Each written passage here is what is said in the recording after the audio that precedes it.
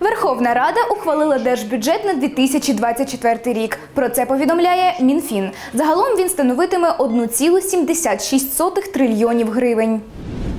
Найбільше грошей піде на соціальний захист громадян. До топ 3 входить підтримка ветеранів війни та охорона здоров'я. Далі освіта, культура, спорт. Наостанок цифрова трансформація, наука та бізнес.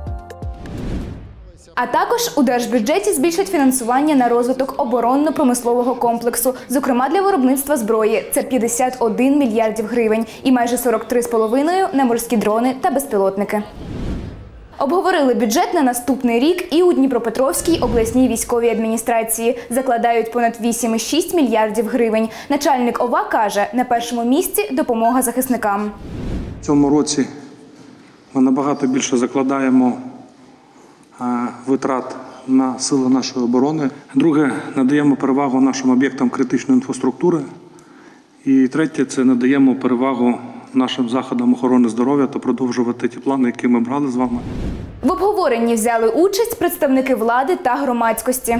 Ми тісно взаємодіємо з навчальними закладами наш фонд, і тому вони турбували питання, як на- на наступному році будуть проходити освітні процеси, в якому форматі, в якому режимі, як вони будуть фінансуватися. Ну, голова дав переконливу відповідь. Я, я поставив це питання.